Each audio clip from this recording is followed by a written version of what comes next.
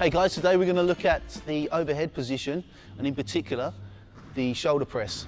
So from here, Scotty's going to take the bar up. Good. Now the first thing we need to note is the locked out elbows. The shoulders are retracted back and down. The line of the bar is running through the shoulder, through the hip and down through the midfoot. Scotty, can you show me a bad one where you sway forwards? So